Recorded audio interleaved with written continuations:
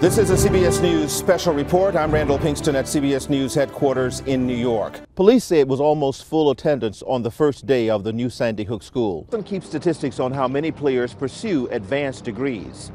A legend was honored today as the University of Mississippi's Meek School of Journalism awarded Randall Pinkston the Samuel Talbert Silver Em Award. Well, the, the Silver Em is the, given every year, and it's given to somebody who is either a Mississippian who has done outstanding work in journalism or a journalist from somewhere else who's done outstanding work in Mississippi.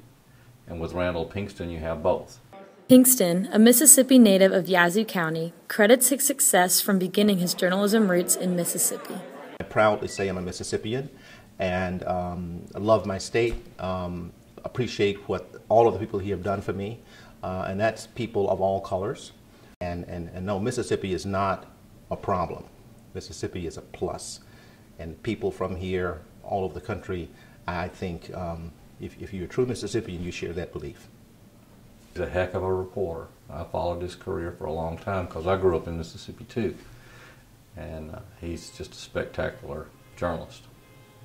This award given to Randall Pinkston today at the Overby Center is just one of many in his journalism career. He now resides in New Jersey and teaches journalism courses at a university in New York City.